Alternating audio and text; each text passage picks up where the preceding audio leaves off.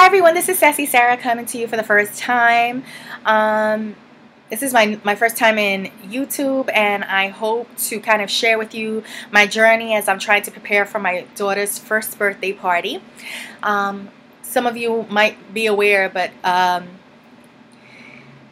decorations and preparations for a birthday party can get quite pricey really quick and I had a set budget for myself but there are some things that I wanted to splurge on and some things that I felt I could do on my own and so I just wanted to show you something really quick. Um, it could be very simple. Maybe for some of you, you already know how to do this.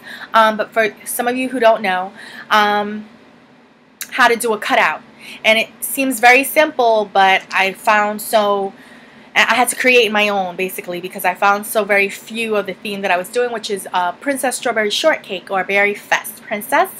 Um, and I, I picked this theme falling in love with an actual cake, which is the first thing that I saw when I fell in love with the theme. However, I didn't realize how scarce the party supplies for this theme were.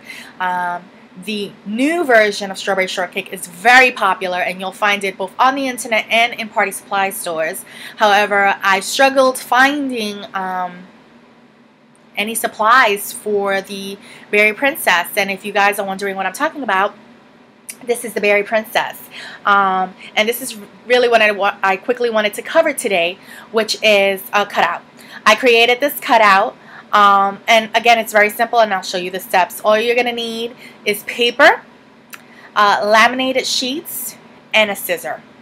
Um, so the first thing I did was I went on the internet and I basically downloaded a picture of the Berry Princess um, and also a copy just like this. I printed something out like this because this is the same princess just with her hat on on a regular day.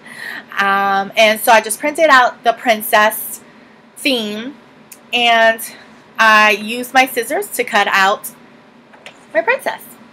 When I cut out the princess, this is just the paper one, I haven't done anything to it, I just cut it out, I trimmed it around the edges, and then I went to my Staples store and I purchased the quick lamination self-adhesive from Avery. Um, and basically you don't need any machinery to work with this lamination. It basically laminates on itself. It seals itself, which is perfect because I didn't have any other money to be buying another machine to do extra work.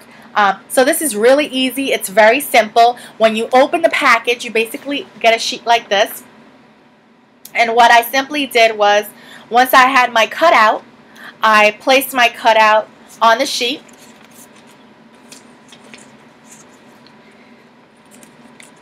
like so. I peeled off the back, which is the actual lamination.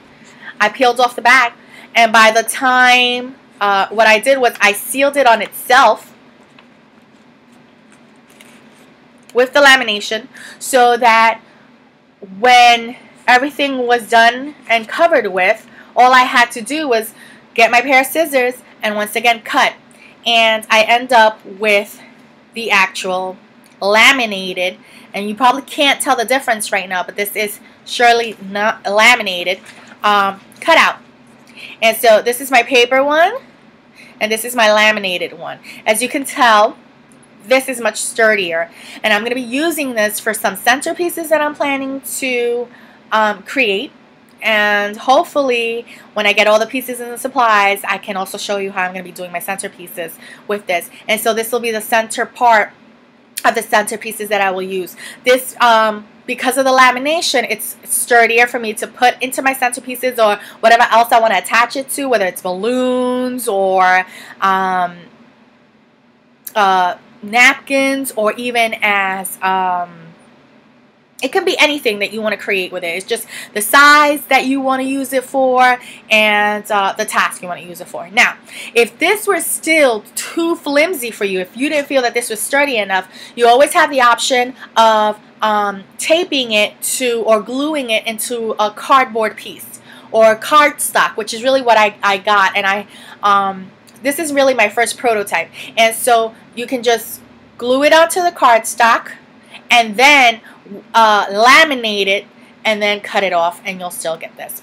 So hopefully that's made some sense. Um, if you have any further questions about how I did this or any other questions of what I might use this for um, or any comments, just leave it below. Thank you. Bye.